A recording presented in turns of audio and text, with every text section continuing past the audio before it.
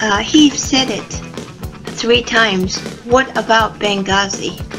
It has been totally swept under the rug. Swept under the rug. Never heard about it again. And Air Force, for that, I want you to go. I want you to go with me on Cruz now.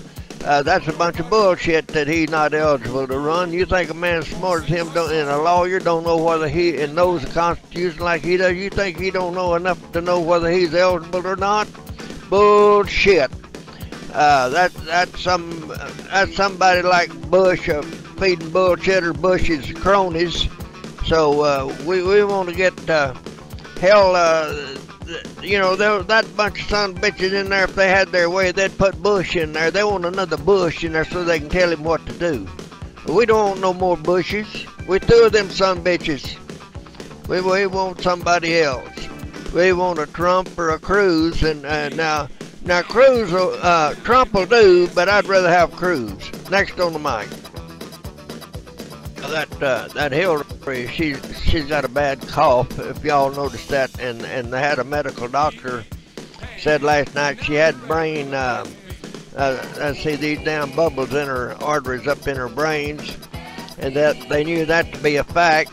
As far as Wall Street, I'm on Wall Street myself, even though I'm down here in Texas. Hell, my living's made from stocks, and I play the stock market to make a living. So I know a little about the stock market, Duncan. Now I'm going to tell you something else too, uh, Duncan. Let me just uh, enlighten you. I, I I worked in oil field. I'm what they call oil field trash, and that that's another word, uh, kind of being like white trash, you know, but a little worse. But let me tell you something. I could get up, I could have got up and run for president and said every, and I would have said every damn thing that Trump said. And you know what? I don't even have a college education, and I'll be damned if I wouldn't have been the front runner. I'd have been up there uh, just uh, ranting and around and carrying on. Had the Pope talking about me and everything else. So uh, uh, get get off uh, get off that. Nobody said nothing about a woman not being intelligent. Hell, we all know they are.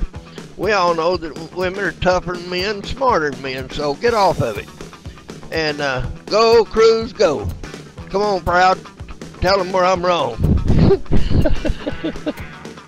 um, as I was talking about before, Benghazi's still kind of tormenting my mind. I haven't moved away from it, as well as Hillary Rodham Clinton and her inappropriate usage of uh, email clients.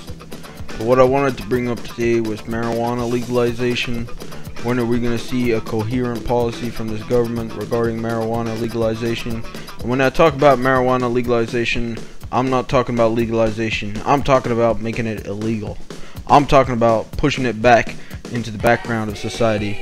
It should have no place around our schools and around our uh, our cities. It should be it should be something that is completely illegal.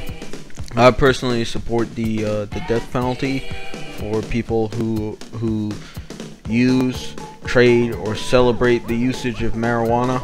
On top of that, Benghazi is still a huge issue and I think it hasn't been adequately discussed by the participants in this discussion. Cocaine and heroin, I'm okay with, you know. They're kind of they're kind of a bit more hip, but marijuana, I think we should exterminate marijuana from our uh, our society. And uh, yeah, that's my opinion. You can feel free to hate me on it because this great country, we're allowed our freedom of opinion, freedom of speech. I'm as smart as a garbage can. Your name is wise underscore 49. The number in my name is 96. That's that's like 43 higher than yours.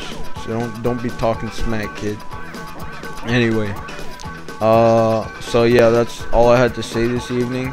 And uh, before I leave, I just want to bring back the conversation to Benghazi and Hillary Rodham Clinton and all the terrible evilness she's done to this country using Outlook Express instead of the Outlook, the paid version.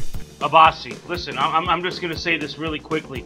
Although I do respect your your view and your opinion, I must I, I must respectfully disagree with you. You cannot put marijuana as a worse detriment than cocaine, heroin, or crystal meth.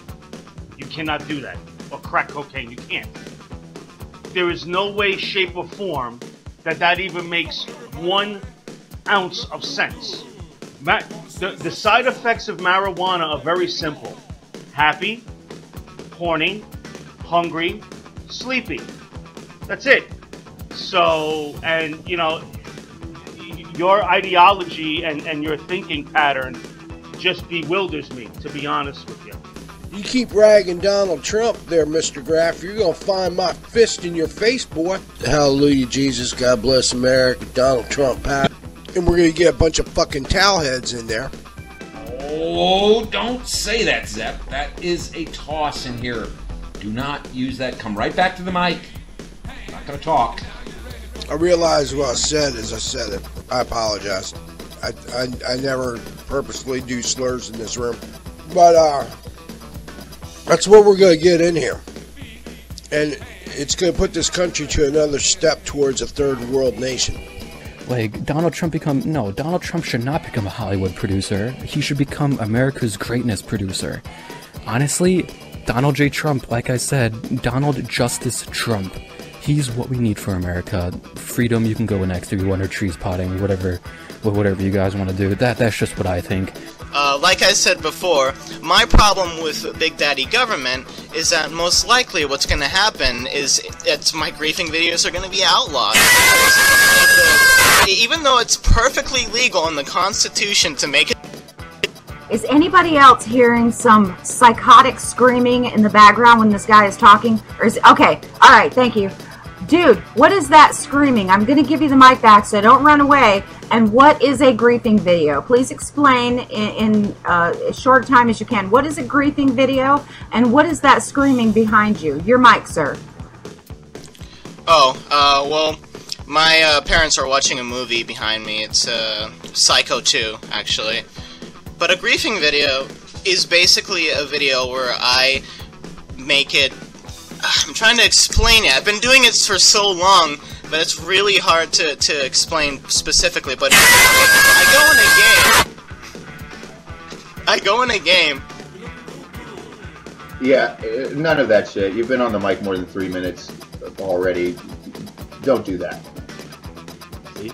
Now, that's when since, uh, what's it, JFK was killed. See, JFK was trying to say that to be free, to be, what's it, a human being, you got to unclutter your mind, right, of all these paranoid ideas, right, and of course embrace humanity, right, and of course that's the only way to be really free, right? You cannot have what's it? Uh, I mean, a paranoid mind, isn't it? If you have a paranoid mind, right, you got to perpetuate what? You got to perpetuate more what's it? The wars, more covert operations, more what's the uh, black assassin, uh, assassination, etc., or what's the dark uh, covert, what's the, all these operations, and of course, what will be the final result? You know it, war.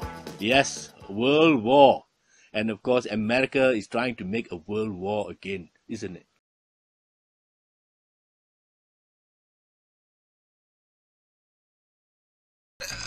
If, if we're gonna elect a, why would we elect a person who can't even manage an email account? Is Huey Lewis? You like Huey Lewis and the News? In in '87, Huey released this Fore! their most accomplished album.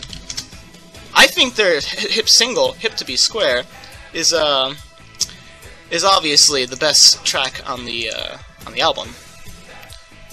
But yeah, I was going on about Hillary Clinton and Benghazi. In my opinion, Bernie Sanders is literally the Rule 63 version of Hillary Clinton. It's just in old Jew format because he's also a Freemason. And that's all I want to say. So, don't forget to vote, especially for Trump 2016.